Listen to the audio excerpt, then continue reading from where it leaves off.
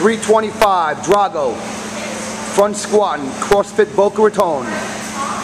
Let's go, Tim. Tough. Nice. Very nice.